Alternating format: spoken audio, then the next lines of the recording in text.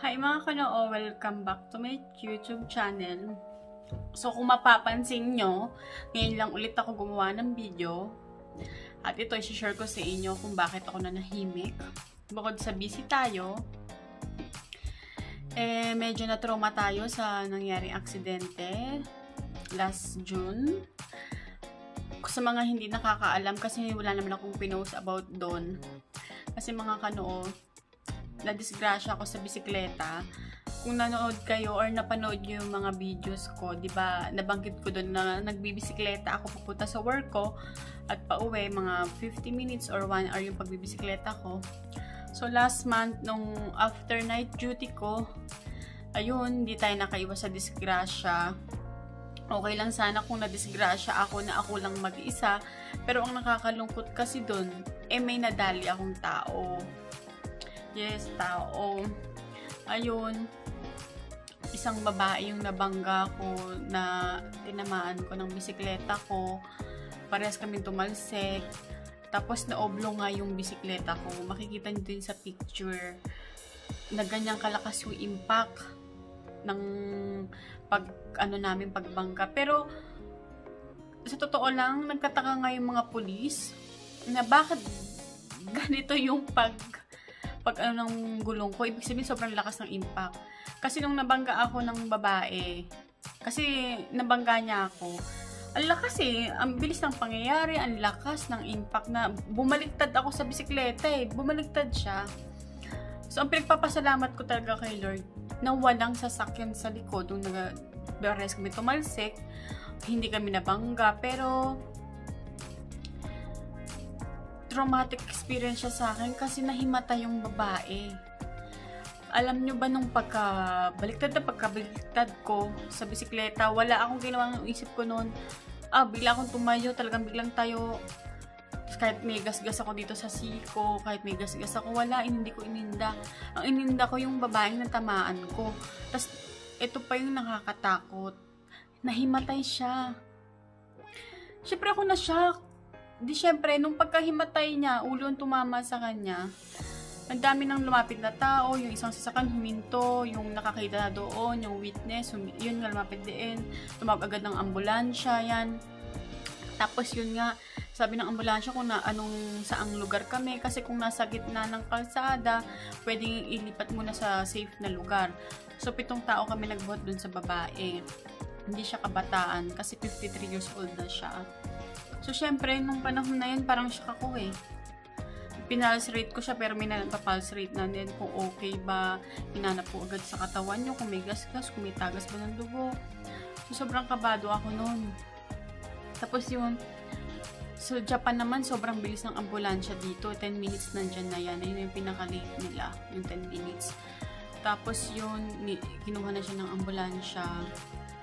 So, sa awa naman ng Diyos, ano, wala naman siyang heavy na tama.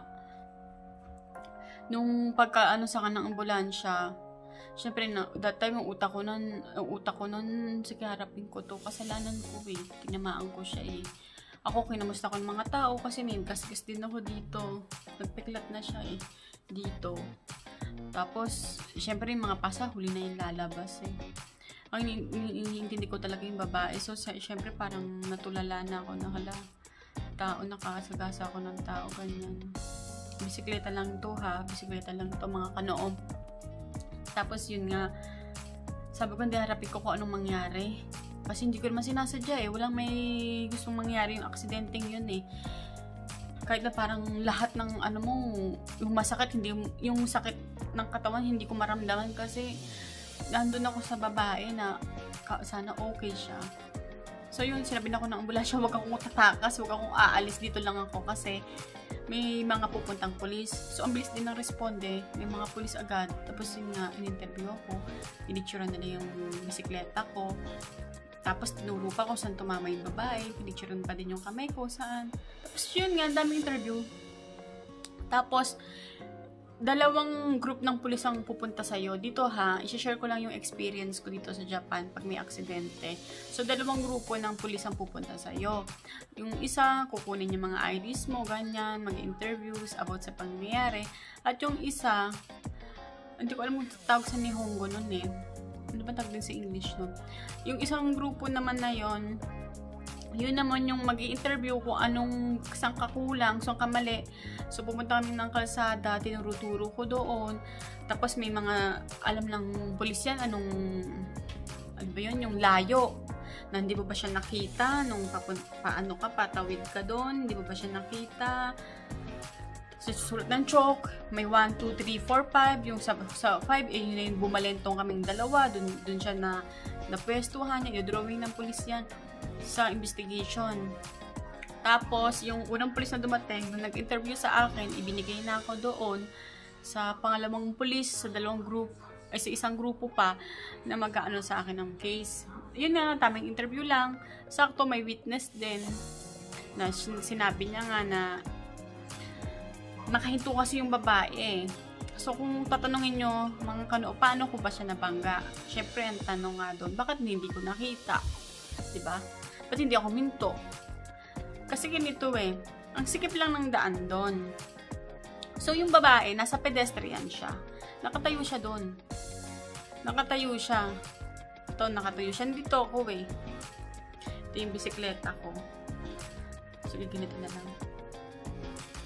Ano ba? Ito na lang yung babae. Ito ko. Dito ko. Ay, dito. Sige, dito na lang. Tapos, naka-stop siya, ay yan tumawid. Kasi syempre ako, bisikleta lang naman yung dala ko eh. Pero syempre kung sasakyan, i-stop naman talaga tayo. So, inisip ko, hindi naman siya tatawid eh. Kasi may dumadaang pang sasakyan nun. So, nung para, nag-go na ako, nag-go na ako, biglang may umintong is, ano eh, uh, sasakyan dun sa pedestrian. So, hindi siya nakatingin. Ito, parating ako eh. Hindi siya nakatingin. So, yung bisikleta ko dumana, tapos dito sa gitna niya ako nabangga. Actually, siya yung bumangga sa akin eh. Hindi ko siya nabangga na ito yung bisikleta ko sa harap. Eh, ako yung bumangga sa kanya. Hindi eh. Ang nangyari, ito yung bisikleta ko, ito siya eh. Bila siyang dumaan. Ako yung natinamaan niya. So, ang lakas ng impact. So, yun. Bumalento kami dalawa na himatay siya.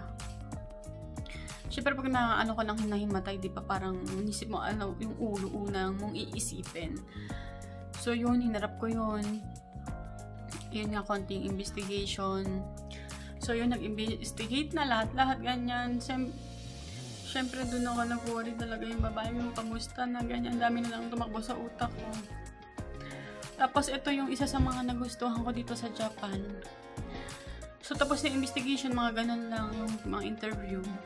Kasi tinakbo na yung babae sa hospital eh. So, update na lang nila ako dun about sa, about dun sa babae, kung kamusta na ba, ganyan. So, yung police, sabi niya sa akin, yung police kasi yung dito sa Japan, yung mag-imbestiga dun sa nangyari, kung ilang percent yung malimang mga ganyan. Ban yun eh, ban yung dala nila. So, naawa sa akin. Sabi sa akin, paano ka uwi? Eh, ganyan bisikleta mo. Din, sabi sa akin, wala ka bang kaibigan? Wala ka bang pamilya na magsusundo sa'yo para makauwi ka? Kasi di ka makakauwi na ganyan yung gulong mo. Di ako naman parang tulala na, wala eh, nasa trabaho ko kasi. Yun sagot ko. Eto guys, ang, bal ang bait ng mga pulis. Hmm. Ginawa nila, binuhat nila yung bisikleta ko, nilagay nila sa van nila, hatid nila ako hanggang bahay. Sabi ko, okay lang po ba? Hindi po ba nakakahiya? Hindi, hatid ka na namin ng kambahay. Tapos yung hatid din ako sa bahay. Sa bahay tuloy. Sa bahay. Tapos sila na nagbuhat ng gulong ko. Tapos pinag-ingat nga ako sa susunod mag-ingat. Tapos mga after ilang oras, ayun, tumawag sa akin yung police.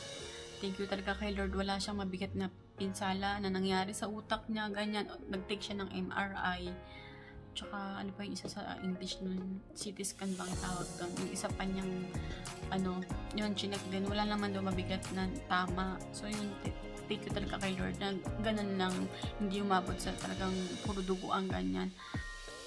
So, nakahinga ako ng malalim, ganyan. So, ayun, syempre lesson learned sa akin kasi kumuha kasi ako ng sasakyan sa Japan, mga kano, bumili ako ng sasakyan. So, sa susunod, ipapakita ko sa vlog ko kung ano sasakyan yung binili ko. So, lesson learned, na kailangan kong mag-ingat. Doble ingat. Kasi sa bisikleta nga eh. Kahit ganun ka pala kagaling mag-drive, pero kung aksidente lalapit, kung aksidente yung nandyan, kailangan mo pa rin, pa rin palaging mag-ingat.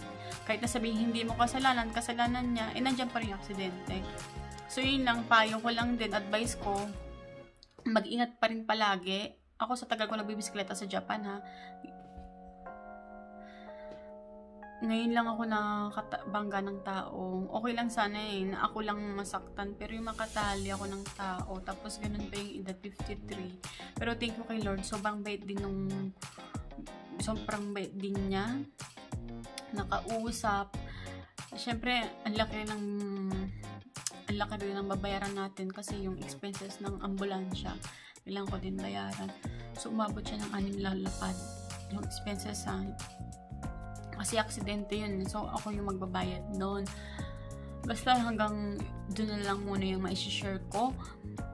Kaya sana sa mga nagbibisikleta rin or motor or sasakyan, mag-ingat tayo. So, minsan talaga hindi may iwasan yung mga aksidente. Tsaka kahit tayo yung mali, magiging tama pa rin naman. Kung makabangga ka talaga ng tao at nasa tamang tawiran pa siya. Siguro tanga lang ako or whatever, pero lesson learned sa akin na mag-iingat ako sa susunod kapag ka manubela na yung hawak ko. Kasi nakakatakot pag tao na yung nadalim mo, yung puso mo talaga grabe. Kaya, ngayon lang, so okay na ako, okay na ako mga kanoo, makakapag-video na ulit ako. Kasi na nahimik lang ako, nagpalipas lang muna ako. Hanggang ngayon hindi na po ako nagbibisikleta. Nagbabas na lang po ako punta sa work ko habang wala pa yung sasakyan na binili habang wala pa sa akin na binili ko. So, ayun. Wait na lang ulit kayo sa mga new vlog ko. Salamat mga kanoo. Ito nga ulit ang bagong update sa akin. Pero okay na po ako ngayon. Lahat ng mga pasa ko, eh, okay na rin magaling. At kinamusta ko naman din si nakamusta ko rin naman siya yung na tinamaan ko. Eh, okay na rin naman siya ngayon. Kaya thank you kay Lord na kahit ganun hindi kami pinabayaan na dalawa. So, yun lang muna yung update ko mga kanoo. Sa susunod na video ko, abangan nyo kung anong sasakyan yung binili ko. At ayun lang muna, dyan na lang muna kayo. Salamat palagi sa, sa, inyo, sa inyong panonood sa aking mga video. Sa last post ko ng Yaris Cross, eh marami tayong naging viewers. Umabot na ng 1,000 views. Thank you po mga kanoo. Bye! Sa susunod ulit, hanood ulit kaya. Bye!